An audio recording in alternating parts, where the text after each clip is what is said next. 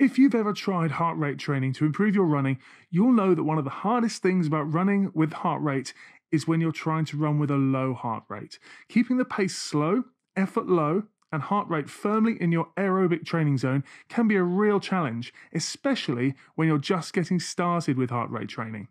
But of course, these long, low heart rate runs are the key to improving your endurance as a runner, allowing you to run faster for longer without getting so tired. So it's an essential skill to work on. Whether you're using heart rate to keep your long runs slow and steady, or you're into maffetone training to build your aerobic base, there are a few tips that I want to share with you which will help you get comfortable with running with a low heart rate. Firstly, try to avoid running in the hottest parts of the day. In fact, if you can run either early in the morning or later in the evening when the environment is cooler, it'll help your body regulate its core temperature more effectively. Because as soon as your body begins to overheat, your heart has to work harder in pumping more blood around the system as blood vessels beneath your skin dilate in an effort to dissipate the heat through your skin as you sweat. Of course, if you plan your runs so that you don't run in these hotter periods of the day, this simply won't be a factor that you need to worry about. Dehydration is another factor that can cause your heart rate to increase while you're running. When you get dehydrated, your blood volume decreases slightly, so your heart has to compensate by pumping the blood around your body faster so that exercising muscles can get the oxygen that they need. So, when it comes to running with a low heart rate, you need to make sure that you're well hydrated before your run, and on longer runs, make sure that you take adequate fluids out on the run with you. We're all slightly different, but as a rough guide, you should aim to drink about 4 to 6 ounces of fluids every 20 minutes during your longer runs. Remember, if you wait until you're thirsty before you start drinking, you're already dehydrated. The hormone that causes that thirsty feeling is released when your body notices that you're dehydrated. But if you keep on top of your hydration, it'll be easier for you to keep your heart rate low while you're running. While we're talking about drinks, here's one for the coffee lovers.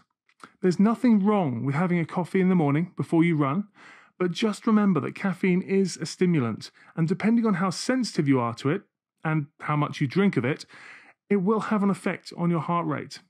So, if you're a runner who struggles to keep your heart rate low and you consume a lot of caffeine, perhaps consider experimenting with a few runs where you stay clear of caffeine for a good few hours before you put on your running shoes and head out of the door. Once you're out and running, have a think about how you're breathing. If you have a tendency to breathe shallow and fast, and you feel like you're breathing into your upper chest rather than getting a full inhale of air with each breath, take a moment to slow the pace down. Consciously slow your breathing rate and focus on belly breathing to get a full breath of air with each inhalation. This slow, controlled belly breathing approach will help to slow your heart rate and aid you in maintaining control of your heart rate as you run.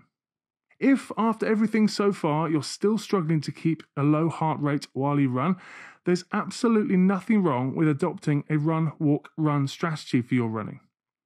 You can use short, intentionally planned walk breaks to allow your heart rate to drop back into your aerobic training zone between each of the running sections. If you're finding it hard to keep your heart rate low, perhaps begin with a three minute run, one minute walk pattern.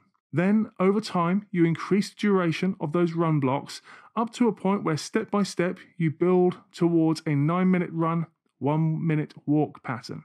So, even if your heart rate is creeping up with each running block, you have a 1 minute walk between each running section to allow it to come back down and under control before you start running again. Plenty of successful runners use this type of run walk approach. It's just a case of burying the ego, listening to your body, and trusting in the process. Similarly, running up hills can cause your heart rate to suddenly spike, even if you've been trying to keep the pace super slow. The problem is, once you've spiked your heart rate on a hill, it can be really difficult to get your heart rate to lower back to the same level that you were running at before the hill. If you can't avoid hills on your easy runs, and you're trying to run with a low heart rate, your best bet is in fact to walk up the hills. Trust me, your aerobic system does not understand the difference between running and walking, it only understands intensity. So you'll be getting just as good of a workout, if not better, because you'll be keeping your heart rate right where it needs to be to get the most out of your heart rate training.